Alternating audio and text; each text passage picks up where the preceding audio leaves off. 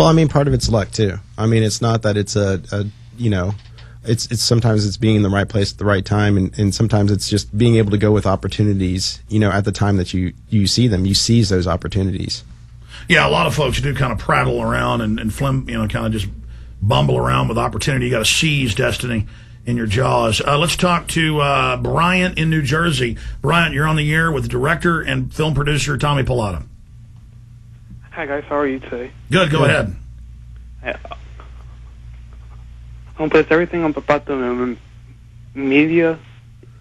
Um, it's, it's almost amazing to see how how they're l- l- lying to everybody like every day, and yet people f- watching Obama, they still support him, and it's amazing to see this happening every day. People still, they know that they're being lied to, but yet they still believe in, and somehow that the media is making them think it's true. Yeah, let me comment on that. It sounds like you're a bit nervous there. Don't worry, we all are.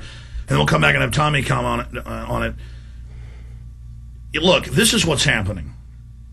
That's why the establishment gave people the novelty of a black guy. I'd love it it was a black guy and he was for liberty and anti-war or whatever, you know, pro-freedom. But they, again, it's form, it's packaging over substance. And so Obama lied to everybody and said he was anti-surveillance, anti-NAFTA and GATT, anti-war. Now he's flip-flopping on all of that. And folks are getting upset, but so many of them wanted to believe, wanted to be sold on that, but now they'll be even more cynical and more sophisticated in understanding what's happening. I want every minute with Tommy in the time we've got left. Mm-hmm. So for PrisonPlanet.tv, we are going to skip this break. For the rest of the network, we'll be back in three short minutes. Please stay with us. Tommy, you want to comment on that? Uh, we're going out right now on PrisonPlanet.tv. I don't want to waste any time. I want to answer that caller's comment. Well, you know, I was just thinking, um, you know, was there really a choice for a presidential election?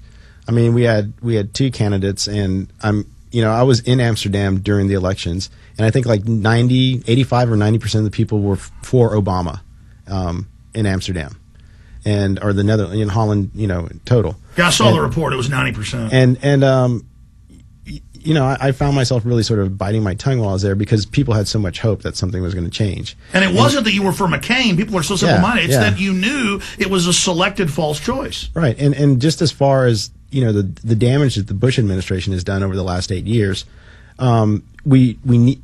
There was no other choice other than Obama. I mean, Ob- the Obama thing, and the way that he really positioned that, or whoever positioned it, was that like Yeah, you had to repudiate Bush. So. exactly.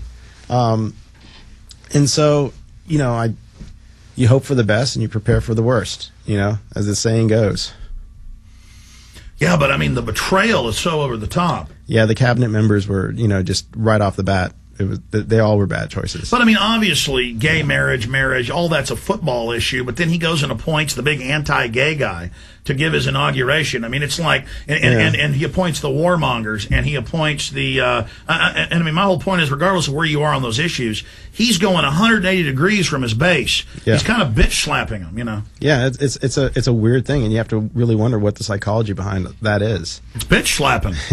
he's pimping the hose. I'm sorry. Um, yeah. What else?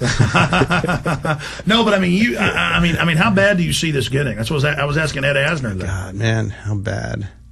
Um, you know, I I- I think economically, there's only it's only going to get much worse, and and I'm sure that you're talking about that all the time here, and you know, it doesn't. You don't need a crystal ball to see that, and uh, I think as soon as. But I mean, on the flip side, I think once people really start to suffer, then they'll start to become much more proactive, and they'll start to educate themselves. But then, in a way, people he'll will organize. Well, I mean, I agree, but then he'll act again as a diversion. As people realize he betrayed them, they're going to think he's actually running something and blame him when the guy's a puppet. So, in Right. a way, I'm even defending Obama. I'm saying we need to depoliticize him. Right. Just like I said with Bush, as bad as he is, it's it's Rumsfeld, it's these other people. I mean, it's like Zbigniew Brzezinski. Right, I mean, this is a guy that wrote the neocon handbook, and then they just stole it from him.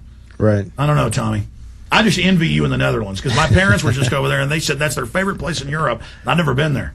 You know, it was it was really important for me to get out and sort of gain some perspective from here. I mean, it was just sort of driving me crazy and reading the news every single day here, and I found a certain peace. Not that I think that Europe is going to be immune from any of the thing that's going on. I mean, it's a global crisis that's happening. It's going to affect everybody around the world.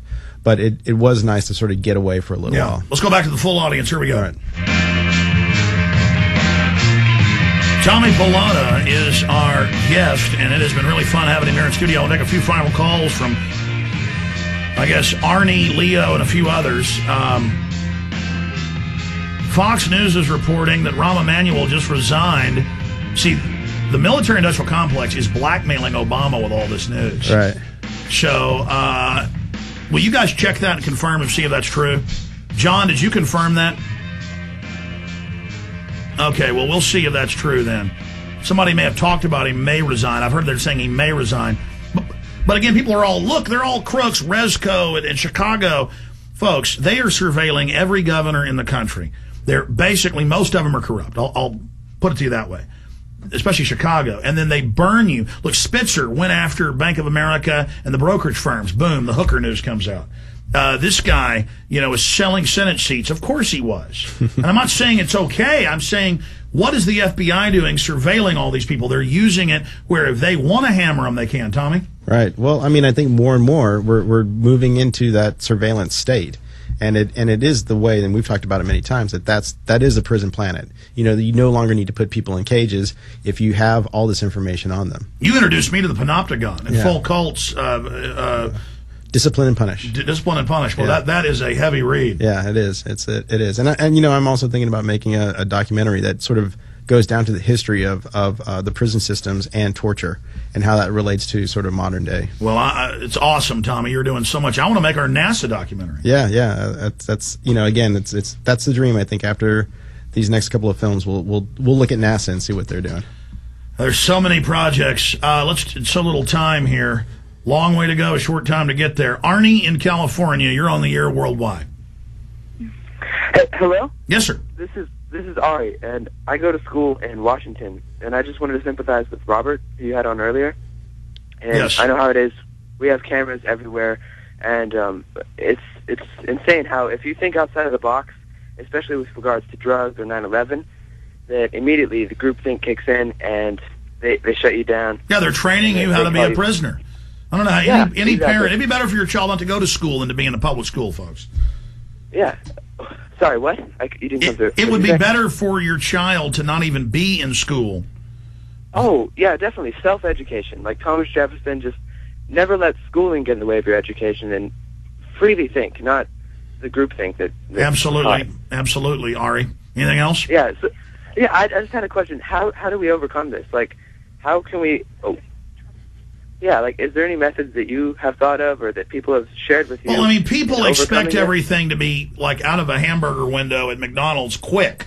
No, it's a process. We've gotten decadent, evil, corrupt, you know, out of shape mentally as a nation. We have to get back in shape. But Tommy, You know, again, you just got to educate yourself. You got to educate the people around you. You know, it's it'll start small, but it'll spread, and then you have to organize, and then you have to act. Absolutely. I appreciate your call. I hate to cut you off, Ari. Leo and Mash, you got one minute. Take us out of here. Go ahead, Leo.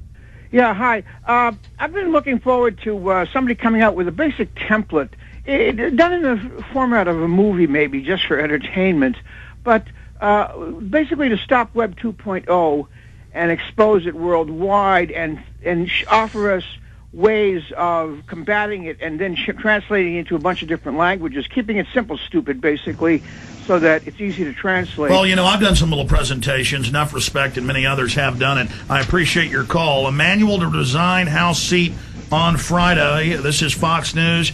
It is confirmed, and I will be back tomorrow, 11 to 3 p.m. Central Time, to cover the aftermath of maybe he's resigning to go join the IDF. You know, he's, he's an Israeli Mossad agent publicly. I mean, literally, he was in the IDF. So, uh, uh, and we want to pray for all those folks dying on both sides over in Israel and Palestine. Tommy Pallotta, you are super, brother. There, ah. All right, it's good to be here. All right, ladies and gentlemen, we are out of time. End of transmission. Rebroadcast starts now at one place on the streams, Infowars.com. Get out there and take on the New World Order. God bless you all.